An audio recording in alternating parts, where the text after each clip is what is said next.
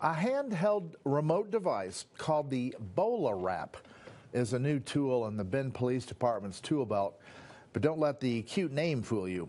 It'll be used to detain someone without using deadly force.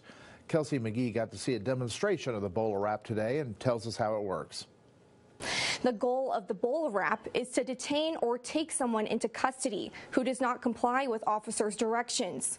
It's a seven and a half foot long tether with weights at the end, similar to a fish hook that's propelled out of the device.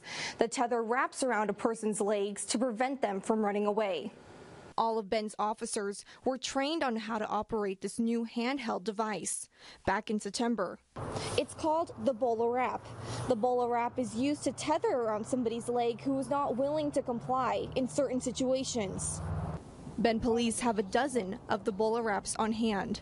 Department um, had these uh, put into the vehicles um, in December. We haven't deployed one yet. These devices are kept in the cars of corporals, who are supervisors on the patrol team. It is used in agencies around the country. It's pretty new. Um, it kind of seems like a Batman-like device, like something Batman would have on his um, on his tool belt. Bend Police Communications Manager Sheila Miller explains the situations in which they will be used. We're not going to use this on somebody who has um, a weapon in their hands. We're not going to use it on somebody who's actively being physical with an officer. It can also be used as a distraction. The device lets off an alarmingly loud noise.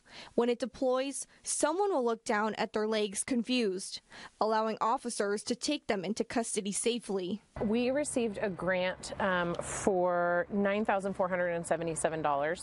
We covered the remaining a little over $4,000 um, to purchase these 12 um, BolaWrap devices. It also came with a total, I believe, of 72 cartridges and then 12 things um, that they can sit on the, the belt that officers use.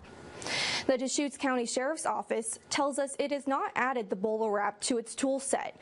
We have more about the BolaWrap and video of its deployment in this story at KTVZ.com and on the News Channel 21 app. Kelsey McGee, News Channel 21.